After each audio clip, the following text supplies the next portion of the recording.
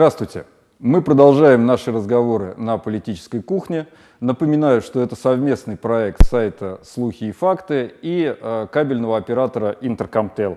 Сегодня я, Алексей Машкевич, э, сижу на этой гостеприимной кухне э, с моим гостем, как вы, наверное, уже догадались по моей майке, главным коммунистом нашей области – Владимиром Кленовым, а, первым секретарем Ивановского отделения КПРФ и членом Центрального комитета этой партии. Здравствуйте, Владимир Витальевич. Добрый вечер. Владимир Витальевич, небольшое вступление. Вот после э, моей последней передачи с э, Михаилом Шором э, мне звонили люди и говорили, что как-то я с ним резко, как-то нехорошо. Я хочу сказать вот всем сейчас, и вам в том числе, что случилось это по одной причине. Михаил упорно уходил в сторону и не отвечал на, ни на один мой вопрос.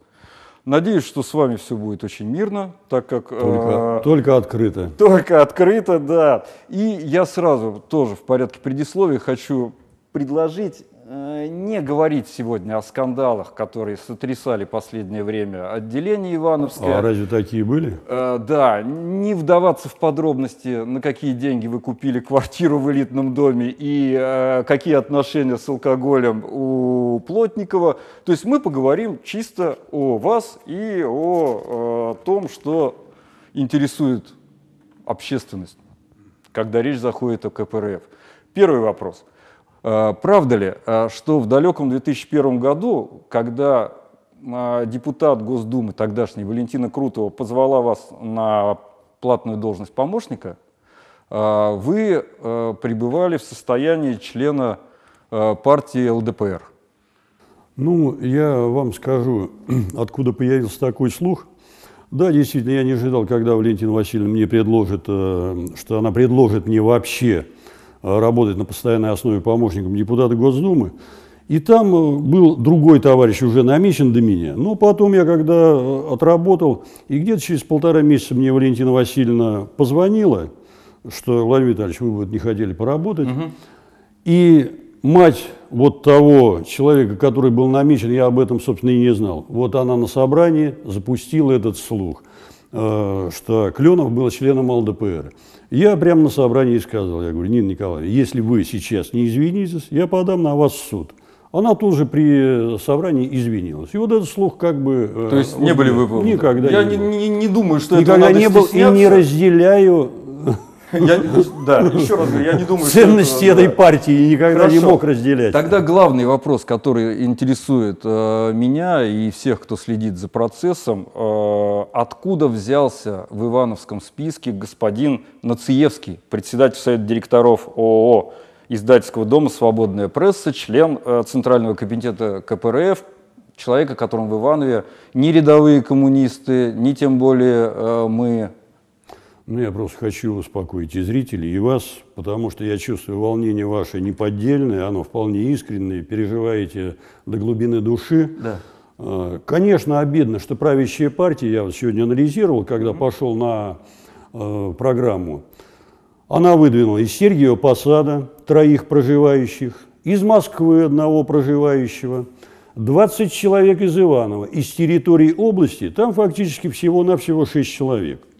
Вот. Это никого не интересует. Но что у нас список сформирован именно по территориальному принципу, у нас всего там 9 ивановцев, 5 тенешемцев, остальные все из территорий, да, действительно, у нас появился Нациевский. И именно мы подчеркнули издательский дом «Свободная пресса», потому что как таковой свободной прессы в Ивановской области нет.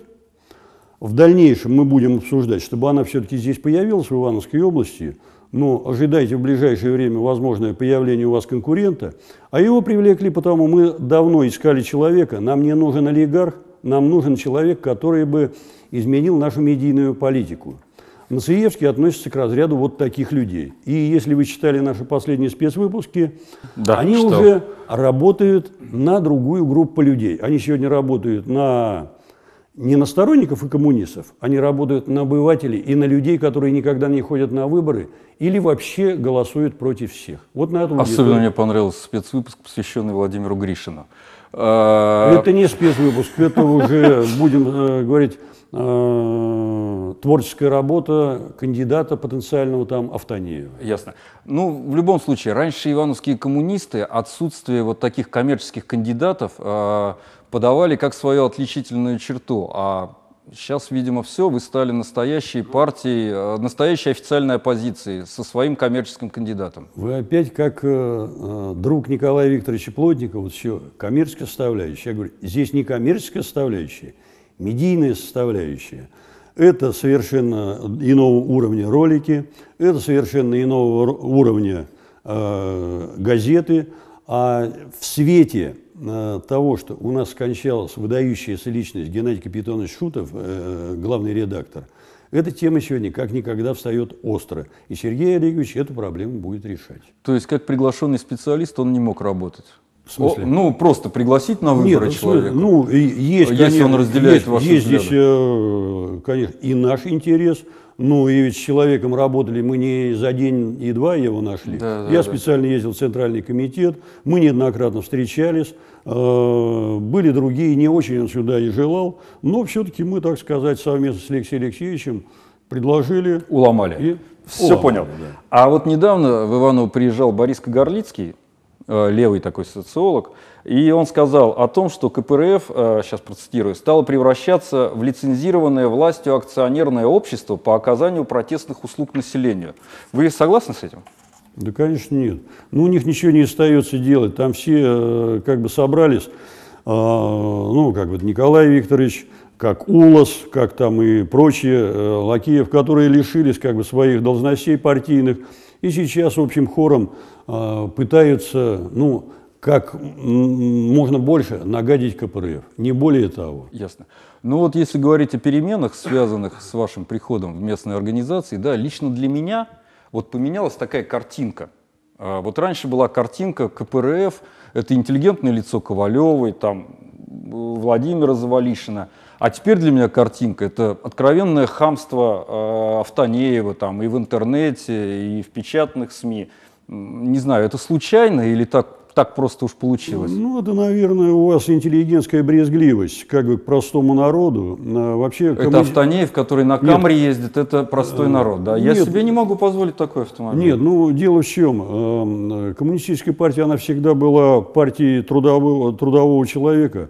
А я вот работал на заводе, ну, бывает, э, бывает и, так сказать, и поднахамят, и бывает рисковато выскажется, но у нас э, ее доводить, что она будет каким-то интеллигентским кружком, до этого партию доводить нельзя. Должны быть э, вот те личности, которые заводят, которые могут э, участвовать в протесте, которые могут, э, собственно, противостоять и полиции в том числе. Если вы знаете, вы вот не освещали, э, что под палатку льет аммиак, э, в родники приезжаем, девушки руку выламывают. Вот, да, все-таки должны же оставить. Интеллигент, угу. конечно, он не будет этого допускать. У нас нормальное сочетание, у, у партии не должна быть большая голова и недоразвитые руки и ноги. Угу. И голова должна быть в порядке, и руки и ноги. И многие наши сторонники, э, ну и люди из обывательской среды говорят, уж слишком вы вот умно и правильно говорите, вот нет у вас вот какого-то напора. Ну, выборы рассудят, я думаю. Выборы ну, рассудят. Безусловно. А вот э, что касается Андрея Автонеева, есть такой чисто технологический вопрос. Только что прошли до выборов в Гордуму. Э, я не буду спорить, он там победил на этом конечно, участке. Конечно, сто процентов. И совершенно нелогичное, совершенно непонятное для меня решение, вы его сажаете на Лежнева, там, на, против Гришина. Почему он не идет на том округе, где его знает, да ну уж, конечно, собака, наверное, каждая знает. Ну, дело в чем? Округ в городскую думу, он не совпадает территориально с округом Ивановского. Ну, в любом случае, областную это, думу. Э, и... Ядро-то прикормлено. Ну, у вас чисто какой-то рыбацкий подход, прикормлен. Ну, не рыбак. К, к избирателям так нельзя говорить, там прикормлено. Э, ну, какая-то работа агитационно-пропагандистская проведена, безусловно. Но дело в чем? У нас сложилось там на том округе исключительно, э, так сказать, форс-мажорная ситуация. Мы там под, подобрали из Южи товарища, беспартийного, э, ну, предпринимателя – он дал согласие поработать. Это самый большой и самый неудобный округ. Там должен быть моторный какой-то человек. Но только-только мы предварительно обсудили эту кандидатуру, как начался на него, э, ну, скажем так, наезд со стороны правоохранительных органов. Начали изымать технику, начали там копаться в чем-то. Ну, человек говорит, ну не могу уже. Пришел и в самый неподходящий момент снял свою кандидатуру. Я был вынужден э, срочно искать. Мы э, перебрали вот три кандидатуры, а потом вот э, пришла, это не мне идея, э, так сказать, товарищи предложили. Я поговорил, я говорю, Андрей, может быть, ты действительно возглавишь это дело? Ну, то есть больше некому, как Павка Ну, Корчагин. нет, нет, ну, да, в принципе, на том округе да. Понял. А Да, следующий говорили. вопрос. Вот сейчас разгорается уже борьба, выборы только объявлены, разгорелась она даже еще до объявления выборов. И все абсолютно, вы единороссов обвиняете, единороссы гражданскую платформу, гражданская платформа всех подряд в том, что все используют методы черного пиара. Вот только вы одни чистые, все остальные. Вот объясните мне, а почему, когда вы пишете в газете, что Владимир Гришин – это политическая мумия с криминальным прошлым, он готов к различным махинациям, чтобы построить, пристроить своих родственников на, то- на теплое местечко. Когда тот же Андрей утверждает, что Бархонкин за 20 тысяч рублей пошел в родину, вот это вот, это нормальное информирование населения. А когда кто-то пишет о том, что э, Шуйский Алексей Чесноков э, бил свою мать когда-то, и это документально запротоколировано, это черный пиар. Где разница? Нет, э, что-то вот мне не совсем понятно. Почему, когда вы делаете, не, не, не, э, все- это информирование, когда против вас черный пиар? Ну, никто мне не может на это ответить. Я единороссов об этом спрошу. Нет, ну, видите ли, когда накаляется обстановка, тут действительно э, поступает обвинение.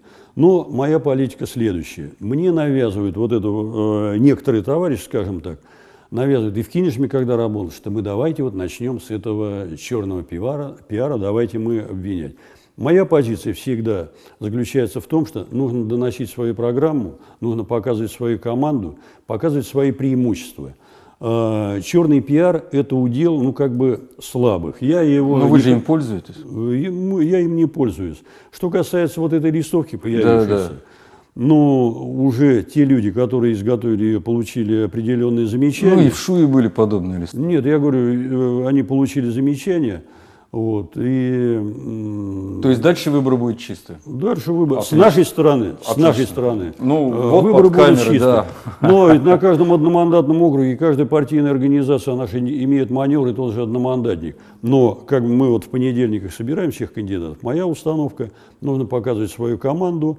Но ведь и здесь, если вы говорите, уж затронули про Единую Россию, сами как бы распаляете это. Так, Единая. Россия, она черным пиаром в эти выборы не будет пользоваться, потому что та глупость, которую они допустили с любимой газетой, поливали грязью нас, это было ясно, что идет это от них, что прокуратура вот, ну, не может найти этого Горохова, что он э, делает эту газету. Вот. Они поняли, что вот этот черный пиар из их уст, он снял у них, э, снизил у них процент. И поэтому на эти выборы они нашли две канализационные трубы, которые будут лить на нас грязь. Это две партии, Яблоко и Коммунисты России. Они с этой задачей э, сейчас уже начинают справляться. Яблоко по телевидению, ясно, ясно, да. это значит в газете. Э, Коротко, сколько человек вы планируете провести в Думу? Мы вообще планируем добиться там 50% и более. Отлично. Э, Добившись 50%, вы будете выдвигать кандидата на председателя Думы, и явно это будете вы. Вы готовы к этой тяжелой ноше? Нет, эта кандидатура, э, если до этого дойдет, э, эту кандидатуру мы будем рассматривать, но первый секретарь председателем Думы не будет.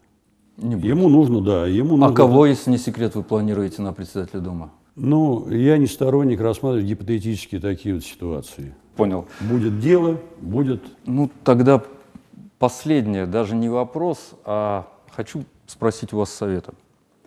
А, Я всегда симпатизировал оппозиции. Вот, что бы вы ни говорили про буржуазные СМИ, первое интервью, которое вы дали в Иваново, приехав, это было интервью журнала «Тысячи экземпляров».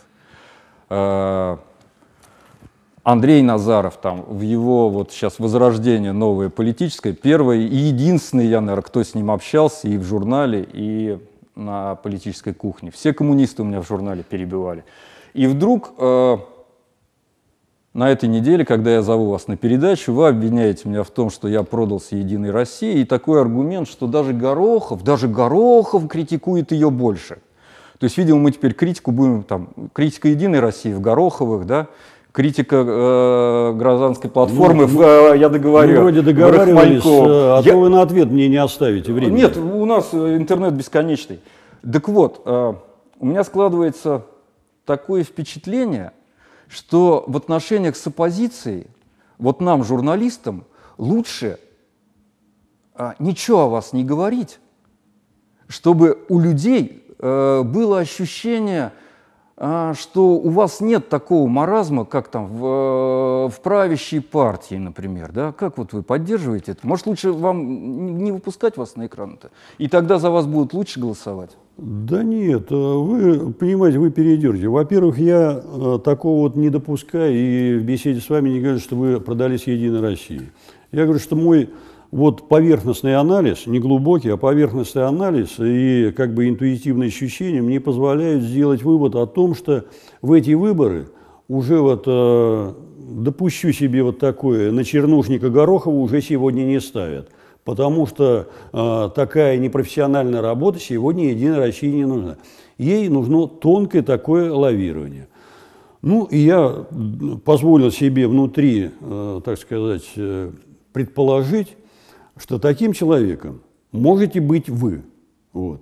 И анализируя ваши вот последние статьи, там, как вы вцепляетесь за скандал, который тут вот разгорелся с Плотниковым, мне, конечно, вот показалось, что вы уже начали работать а, на ту сторону. Мы Возможно, с Николаем в лагерь в Пионерский ездили, там много Лу- личного. Лучше, ну, видите, я настолько глубоко не изучал ни вашу биографию, ни биографию Плотникова. Ну, вот Эти личностные факторы, возможно, и как бы вот на этом личностном э, факторе и такие появились статьи.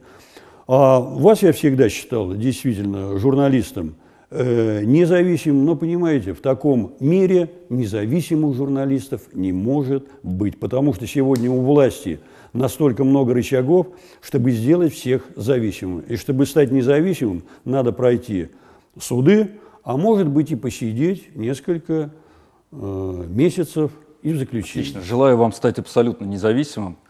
На этом все. Я напоминаю, что сегодня у нас в гостях был э, Владимир Витальевич Кленов, э, наш главный коммунист в Ивановской области, э, который сейчас через несколько секунд в программе по скриптум скажет что-нибудь, что, о чем я не успел его спросить. А я, Алексей Машкевич, с вами прощаюсь. До новых встреч, до свидания. Кухни Нольте. Настоящее немецкое качество и функциональность. Только для вас. Эксклюзивно в Нольте Кюхен. Улица Октябрьская, 12.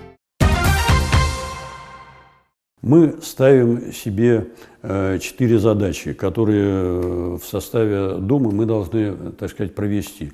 Это закон о детях войны, о коррупции, э, о сельском хозяйстве и поддержке детей, э, семьи. А особенно мне, я ожидал вопроса о сельском хозяйстве. Я вчера посмотрел передачу, как проводили День поля. Вы представляете, в конце июля пашут поле. И проводить День поля, как, ну, даже по всем сельскохозяйственным канонам, нельзя в июне пахать землю, пока не скосили траву, пока не скосили отаву. Вот. Деревня сейчас умирает. И вот я думал, что мне зададут такой вопрос, а зачем мы? Я вот буду проводить эту линию поддержки и подъема нашего сельского хозяйства и возрождения деревни. Потому что деревня гибнет, школа закрывает, клубы закрывает. И вот эту тему я с первым, с кем встречусь, это с главой сначала Кинешемского района, а потом Гаврилово-Посадского района, а потом уже и Родниковского района. Вот в этих вот районах мне хочется что-то сделать реальное, чтобы наша фракция исполнена для, именно для селян, именно для глубинки.